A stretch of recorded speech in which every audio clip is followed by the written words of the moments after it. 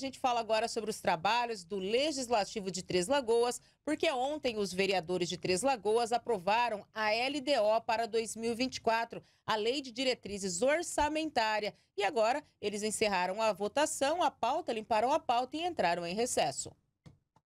Durante sessão extraordinária realizada nesta quarta-feira, os vereadores de Três Lagoas realizaram a segunda discussão da LDO, que dispõe sobre as diretrizes orçamentárias para o exercício de 2024. O projeto havia entrado em pauta na semana passada, também durante sessão extraordinária e exclusiva. Na primeira discussão foram apresentadas 18 emendas, sendo nove modificativas e nove aditivas. Desse total foram aprovadas quatro emendas as quais foram incorporadas ao projeto, as demais foram vetadas. A projeção para o valor do orçamento em 2024 considerou o valor previsto para o IPCA em 2023, que os especialistas do mercado financeiro estimam que será de 5,6% no ano.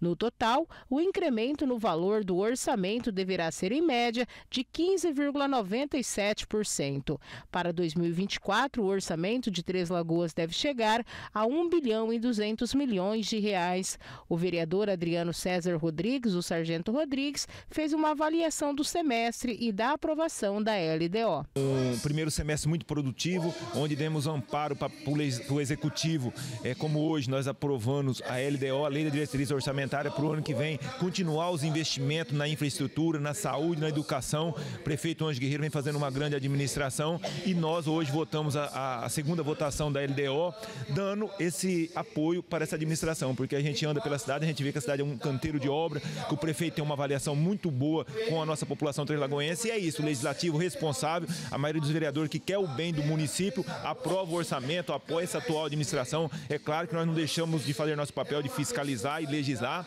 mas dar o amparo para o executivo que vem fazendo um excelente trabalho no nosso município. Nós aqui no gabinete, nesse primeiro semestre, atendendo a população, levando a demanda em várias áreas que a população nos procura, e esse é o trabalho do vereador que está empenhado em prol da nossa cidade e em prol da população. Ao longo do primeiro semestre, várias foram as indicações, requerimentos e projetos analisados e aprovados pela Câmara, como destaca o vereador.